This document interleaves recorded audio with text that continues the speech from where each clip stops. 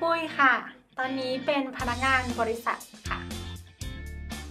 คือปกติแล้วเป็นคนพูดเบามาก แล้วก็เสียงอยู่ในลำคอตลอดเวลา แล้วก็เวลาใช้ชีวิตประจำวันคนก็จะแบบไม่ค่อยได้ยินเสียงเวลาเราคุยอะไรอย่างเงี้ยค่ะ ก็เลยรู้สึกเป็นอุปสรรคมาก ก็ใช้เสียงเวลาในที่ประชุมเราก็ต้องมีพูดรายงานพูดในที่ประชุมอะไรอย่างเงี้ยค่ะ คือตอนนี้เรารู้แล้วว่าจะต้องพูดเสียงดังยังไงอะไรเงี้ย ก่อนหน้านี้เวลาเพื่อนบอกว่าเออแกพูดเสียงดังหน่อยอะไรเงี้ย ตอนนั้นก็ทำไม่เป็นก็แบบพูดเสียงดังไม่ได้แล้วอะไรเงี้ย แต่ตอนนี้ก็คือรู้แล้วว่าต้อง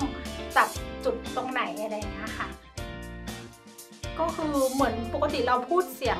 เดิมมาเป็นเวลาหลายสิบปีมากแล้ว ตอนนี้ต้องมาเปลี่ยนแบบ เปลี่ยนใหม่อะไรเงี้ยค่ะ คือบางทีก็จะเผลอพูดเหมือนเดิมอะไรเงี้ย คือต้องมีสติตลอดเวลาว่าเออ เราต้องพูดออกไปข้างหน้า พูดเสียงดังขึ้นอะไรเงี้ยค่ะตามที่ครูสอน